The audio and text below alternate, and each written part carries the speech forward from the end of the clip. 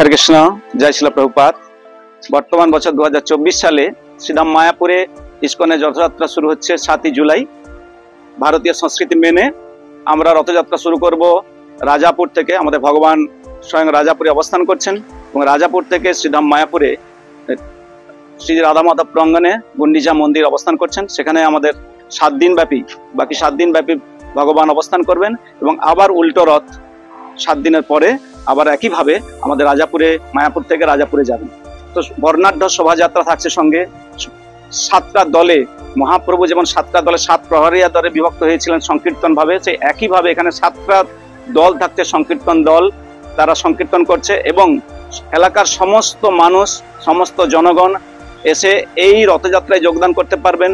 রথের রথ, রথে স্বয়ং ভগবানকে দীপ, ধূপ, প্রদীপ, শঙ্খজল নানান উপাচার তারা প্রদান করতে পারবেন এবং সেই সঙ্গে সঙ্গে তারা ভোগ লাগাতে পারবেন এবং সারা দিন ধরে একটা থেকে সাতটা পর্যন্ত এই রথ সমারোহ চলবে। তারা সবাই মিলে প্রসাদ, বিভিন্ন কর্নারে আমরা প্রসাদ পরিবেশন করব, বিভিন্ন জায়গা থেকে আমরা প্রসাদ দেব। তারা সবাই মিলে এই প্রসাদে অংশগ্রহণ করে তারা অহি- অহেতুকি অপ্রতিহতা ভক্তি লাভ করতে পারবে। তো আশা করছি আপনারা সমস্ত জনগণকে আমরা এই মাধ্যমে আমরা আবেদন করছি, আপনারা আসুন। সমস্ত সরকারি নিয়ম রীতি মেনে আমরা আজকে রথ প্রস্তুতি চলছে। ছিল জয় পতাকা ছিল, অভয় চরণারবিন্দ ভক্তি স্বামী প্রভুপাত যিনি ইস্কন প্রতিষ্ঠাতা আচার্য। তিনি প্রথমে কলকাতায় রথ প্রতিষ্ঠা করেছিলেন। রথের শুভযাত্রা সূচনা শুরু হয়ে গিয়েছে।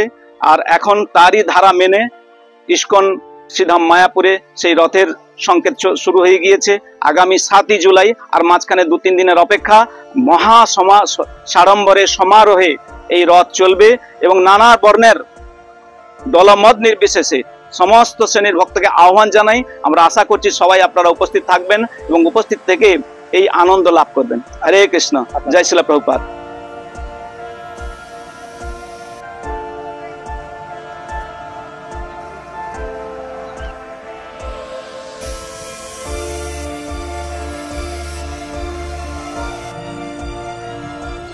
হরে কৃষ্ণ। আমি সুমধুর বৃহস্পতি দাস, মায়াপুর ইস্কন থেকে আমি রথের এই বছর দু হাজার চব্বিশের রথযাত্রার পরিচালক কমিটির একমাত্র একটা সদস্য, একজন সদস্য। এই বছর আমরা রথের আমরা যে আয়োজন করছি, সেটা আমরা, আমাদের এখান থেকে পাঁচ কিলোমিটার দূর জগন্নাথ মন্দির রয়েছে নিস্কনের রাজাপুরে। ওইখান থেকে আমরা রথযাত্রা আরম্ভ করব সাতই জুলাই। আর আমরা এখানে আসবে, এখানে আমাদের গুন্ডিচা থাকবে সাত দিন। এবার এই বছর আমরা মন্দিরের প্রাঙ্গণেই আমরা গুন্ডিচা আমরা অবস্থিত করছি। আর প্রচুর আয়োজন মানে করা হয়েছে। বিভিন্ন প্রোগ্রামের আয়োজন করা হয়েছে দীর্ঘ সাত দিন। আট তারিখ থেকে চোদ্দ তারিখের মধ্যে আমাদের ছাপ্পান্ন ভোগও দেওয়া হয় ভগবানকে, জগন্নাথ সুভদ্রা বল্লভকে আর সেইভাবে আমরা পুরো প্রোগ্রাম করব। তারপর পনেরো তারিখে আমাদের উল্টো রথ। পনেরো তারিখে আবার এখান থেকে গুন্ডিচা থেকে, যেটা ইস্কন, মায়াপুর প্রাঙ্গণ থেকে রাজাপুরে যে জগন্নাথ মন্দির, সেখানে আমরা ফেরত যাব।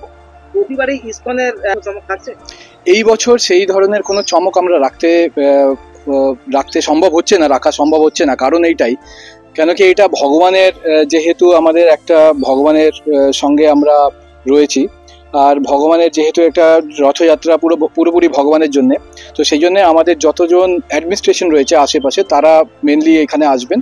আর আমাদের যাহাতে আমরা সুস্থভাবে এটা যেন করতে পারি রথযাত্রাটা সেটাই আমরা চেষ্টা করছি। কেন কি যখনই বিভিন্ন বড় লোকরা আসেন, তখন আমাদের সেইভাবে আয়োজনটা করতে হয়। তো সেই, এই বছর আমরা সেইভাবে আমরা করতে চাইছি না।